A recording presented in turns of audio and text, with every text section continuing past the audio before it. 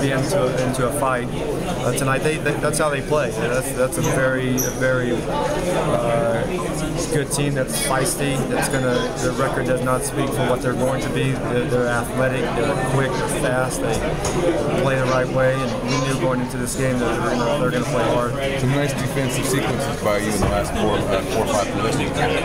Well, I thought we had a good defensive game. uh, Take away the third quarter, we gave up 34 points. That first, second, and fourth quarter was good defense. We can, you know, you can play. You hold the team under uh, low 20s uh, points per quarter. But our fourth quarter, there were some good defensive plays on both teams. They were, both teams are showing their athleticism, blocking shots at the rim. The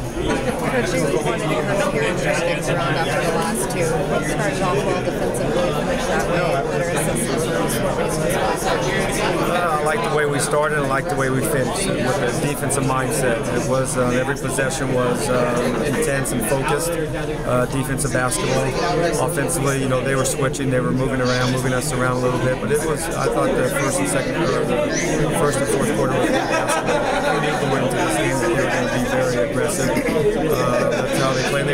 know, obviously in their home court, and they want to finish the season up strong. What the way he's played the last couple of games? Consistent and out in the lineup things Yeah, he's moving. He's moving um, very well right now. I think he's, uh, he's getting his confidence back, knocking down some shots, but his activity on the offensive end is good. We just have to keep working and keep getting better. But I, I like what he did the last couple of games. How does it feel to go back home just knowing you get that win and just put it in perspective what it does for this team? Well, we had two tough losses. You know, the last loss uh, against Memphis is the uh, toughest loss that you can you can take, and I give our guys uh, a lot of credit. They, they picked themselves up and came into tonight with a good mindset. We got the win, and we're moving on to the next game. It's always great to be home. We got a great crowd.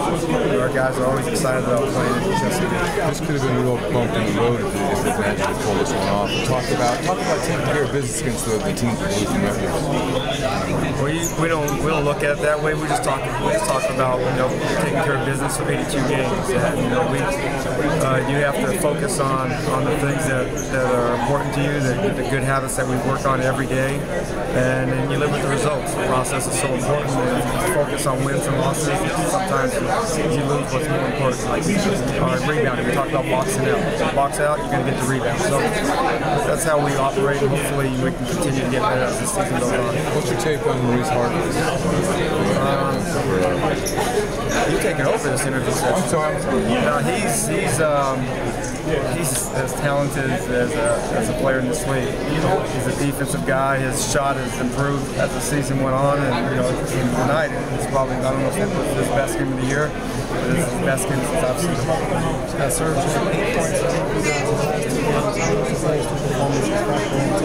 well, Serge is very prideful, and uh, I am too about Serge's game. I wanted him to play much better, uh, give us some defensive energy, give us some uh, uh, game-changing shots, and he did that tonight. He blocked a, uh, four or five shots right at the rim. Those are point-blank layups. And the way he was running offensively, and he was finishing around offensive boards, and you know, he's he's only going to get better. Just just keep playing with that type of force.